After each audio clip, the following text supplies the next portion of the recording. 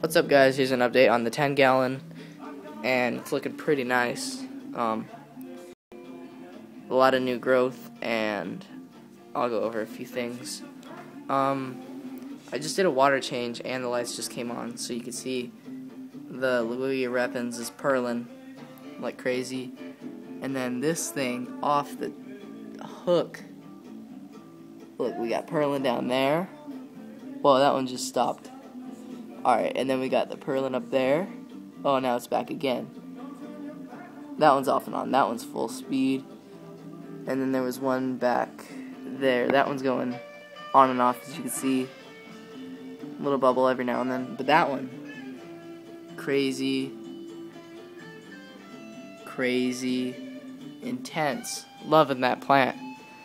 Um, this algae is just, I don't know, I'm, I'm pretty close to taking that plant out, the micro sword, and putting the dwarf sage there.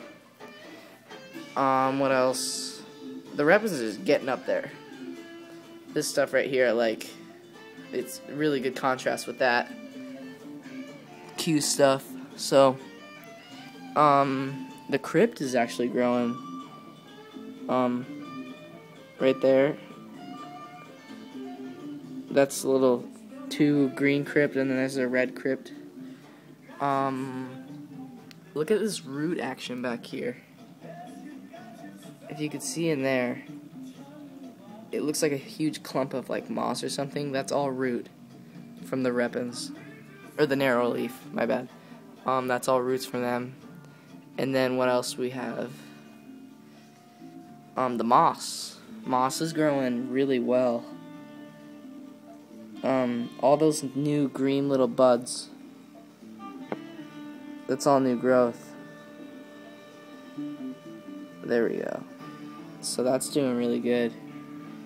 Um, yeah, I, I'm really impressed. Just came home from school. It's good to come home from school and just do a water change. Um, turn the lights on and just well, I I, I got home from school early today, so I turned the lights on so that because the timer they weren't on and I wanted them on so I turned them on. So it's good to come home from school and just see your tanks doing good. Um that purlin at the top beautiful purlin. Right there nice to see. Um I'm pretty sure that's all I was gonna do. Don't know I'll do a little bit of Sag and Val update.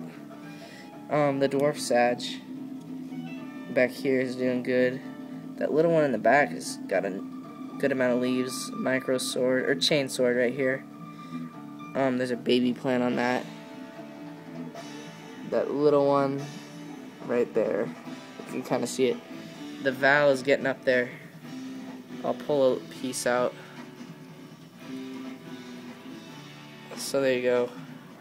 It's a good 15 to 20 inches long.